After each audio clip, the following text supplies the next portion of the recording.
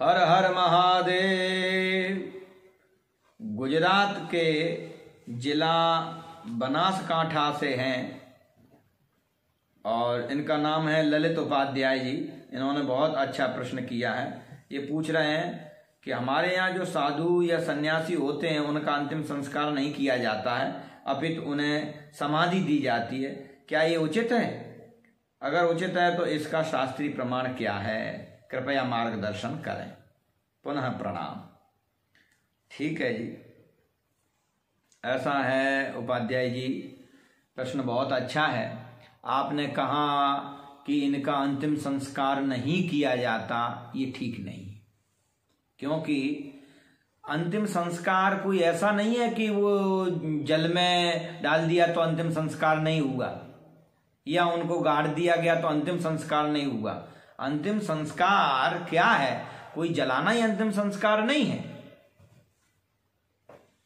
अंतिम संस्कार शास्त्र, अंतिम शरीर की जो प्रतिपत्ति बताएँ, जिस तरीके से वो संस्कृत हो, जैसा वो विधान किया जाए, वही अंतिम संस्कार है। है ना? तो ये भी अंतिम संस्कार है, ये भी शास्त्रों में वर्णित है। मुख्य रूप से हमारे यहाँ चार वर्ण और चार आश्रम है, ये तो आप जानते ही होंगे। तो चारों वर्णों को जो है, अंतिम संस्कार अग्नि से दिया जाता है।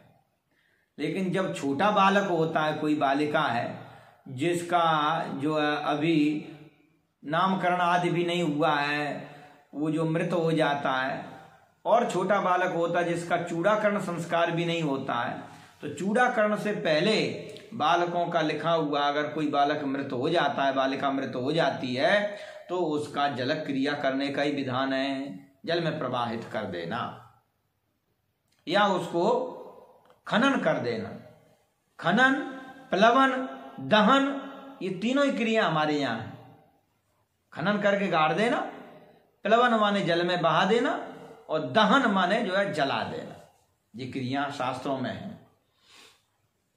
तो अब आश्रम की बात आए तो गृहस्थ, ब्रह्मचारी, बानप्रस्थ, इन सभी का जो है अग्नि से संबंध होता है।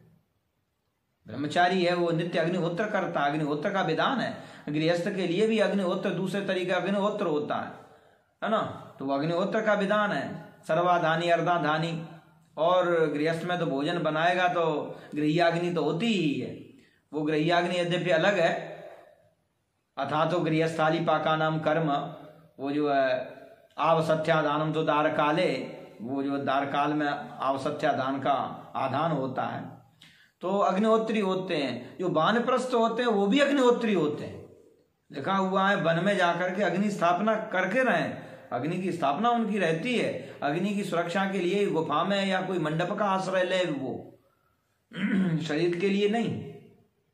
परंतु जो सन्यासी होते हैं, उनका अग्नि से विच्छेद हो जाता है। वो अग्नि से उनका कोई संबंध नहीं रहता। ना वे अपने लिए भोजन पका सकते हैं अग्नि पर, ना ही अग्निहोत्र कर सकते हैं, ना ही किसी के यहाँ यज्ञ इत्यादि करवा सकते हैं। अग्नि से उनका संबंध इस रूप में नहीं रहता है। इसीलिए उनको पक्व भिक्षा ग्रहण करने का अधिकार है। जब घर में भी लिखा हुआ है, गाँव में जहाँ भिक्षा मांगने के लिए जाए तो पहले धुआँ बंद हो जाए। माना कि अग्नि बंद हो जाए, लोग भोजन कर लें, तब सन्यासी भिक्षा लेने के लिए जाए, ये शास्त्रों में लिखा हुआ है। तो अग्नि से उनका संबंध नहीं। तब उनका जो है, संस्कार अग्नि में नहीं हो सकता। तो क्या हो सकते? अब दो ही बचे, या तो प्लवन, या खनन उनको गाड़ा जा सकता है, या जो है, जल क्रिया की जा सकती है, प्लवित किया जा सकता है। तो सन्यासी भी हमारे यहाँ चार प्रकार के होते हैं। ध्यान देना, कुटीचक, बहुदक, हंस और परमहंस। तो क्या इन चारों प्रकार के सन्यासियों के लिए यही भी हित है? बोले नहीं। जो कुटीचक हैं, उनको तो जो है, जलाना ही चाहिए। देखिए, अब जो आप शास्त्र प्रमाण की बात कर रहे हैं तो देखिए, धर्म सिंधु ग्रंथ है ये। और धर्म सिंधु में यहाँ जो है लिखा हुआ है, सन्यासियों का, अथ मृत यति संस्कार।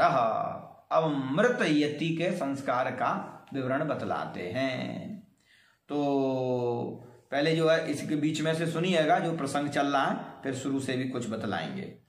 ये कह रहे हैं कि परमहंस, चार तरीके के सन्यासी बताए, उसमें जो पाँच, सबसे चौथे होते हैं परमहंस परमहंस्य स्थले समाधिर मुख्य परमहंसों का स्थल में समाधि देना, मान खोद करके उनको, खनन करके गाड़ देना, ये ही मुख्य है। अगर उनको जल समाधि भी देते हैं तो वो जले मध्यमा।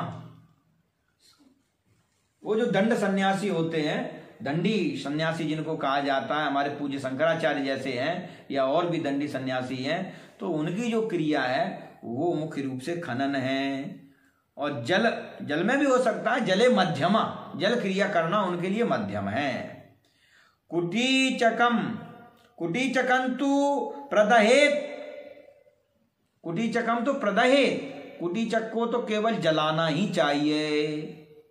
और कहते बहुदकम हंसो जले जले तो निक्षिप्या। और बहुदक को और हंस को, जले तो निक्षिप्या। वो जल में ही उनको करना चाहिए इनके लिए जल ही प्लवन ही मुख्य है। और परमहंसम प्रपूरयेत इति वचनात्।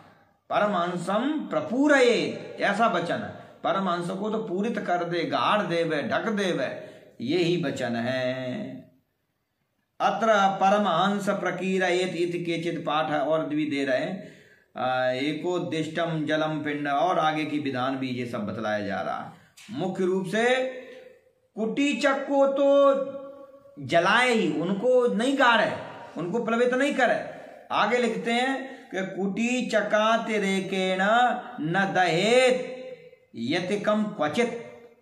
कुटी चक को छोड़ करके और जो तीन सन्यासी बच्चे, बहुदक, हंस और परमहंस, इनको कभी भी जलाए नहीं, निषेध कह रहे कुटी चकाति अतिरेकेण, इनको छोड़ छोड़ करके न दहेत यतिकम क्वचित यतिकम क्वचित न दहेत।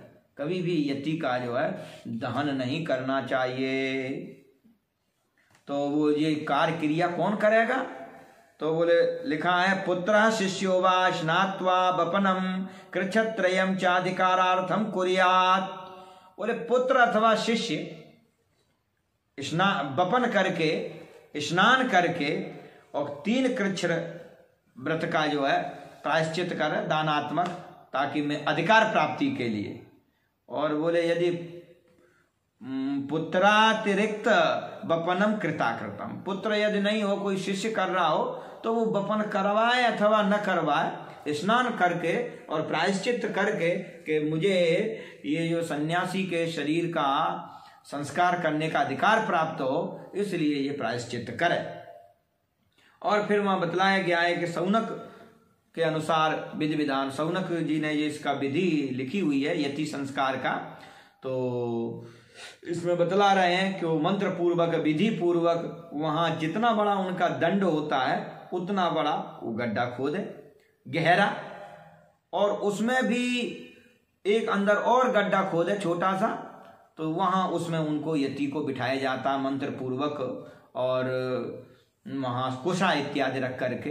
अगर जल में रखना है तो जल में भी गहरे जल में वो कुशा रख करके, ऊपर यति को रख करके और ऊपर फिर उनकी शंख से जो कपालक क्रिया होती है सन्यासियों की। सन्यासियों की जो क्रिया होती है, वो शंख से होती है। जो सिर सिर वेदन किया जाता है, वो शंख से करना चाहिए। चाहे वो जल प्लवन हो, चाहे जो है उनका खनन हो। तो वो क्रिया इत्यादि करके और उनका दंड भी उनके पास में ही रख दिया जाता है।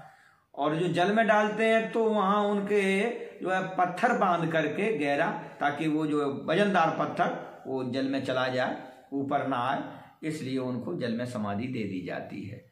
और ऊपर से फिर कोसा आच्छादित कर दिया जाता है। उसमें पंचगव्य डालना है, और भी संभार इत्यादि डालना है, उनके मंत्र हैं, पूरी विधि विधान वहाँ बतलाया गया है। तो फिर उसमें नमक इत्यादि लिखा हुआ, पुरुष सूक्त से मंत्र बोलते हुए उसमें नमक भरे उस गड्ढे में रखना है तो और फिर मिट्टी से उसको प्रपूरित कर देवे। बाद में और भी क्रिया हैं षोडशी आदि क्रिया, वो सब उनकी विधि विधान पूर्वक करनी चाहिए। और इसमें थोड़ा सा अंतर है कि शिष्य करे तो कैसा करे, और पुत्र करे तो कैसे करे, सपिंडन इत्यादि करे। पूरी क्रिया है, ये तो फिर बहुत लंबा विषय हो जाएगा। कि फिर समाधि उत्सर्ग भी होता है। समाधि का उत्सर्ग कर दिया जाता, समाधि बना दी जाती उनकी। स्मारक बना दिया जाता है, जो सार्वजनिक हो जाता है। उसमें कोई भी जाए, दर्शन करे, वहाँ शिवलिंग की स्थापना भी होती है। ये जो सन्यासियों का समाधि स्थल जो बनाया जाता है। तो ये समाधि है और ये शास्त्रीय है। सभी शास्त्रों में, जहाँ जहाँ शास्त्रों में संन्यास ग्रहण की विधि है वहाँ वहाँ सन्यासी के शरीर त्याग की विधि भी है। और शरीर त्याग की जो विधि है, वो इसी प्रकार है। चाहे जो सन्यास ग्रहण पद्धति हो, धर्म सम्राट स्वामी श्री करपात्री जी महाराज ने ये जो सन्यास ग्रहण पद्धति जो है, पंडित प्रवर श्री जोशण नाम शास्त्री जी, अग्निहोत्री जी से लिखवाई थी। हमारे पूज्य गुरुदेव के जो गुरु भाई हैं तो इस तरीके से वो है, धर्म सिंधु में देखें, निर्णय सिंधु में देखें, और कर्मकांड प्रदीप में देखें सब जगह इसी तरीके से ये जो वर्णित है। आप इस तरीके की कोई शंका न करें कि उनकी समाधि क्यों दी जाती है। शास्त्र में जिसके लिए जो अंतिम संस्कार जिस प्रकार लिखा है, वैसे ही करने में भलाई है। हर हर महादेव।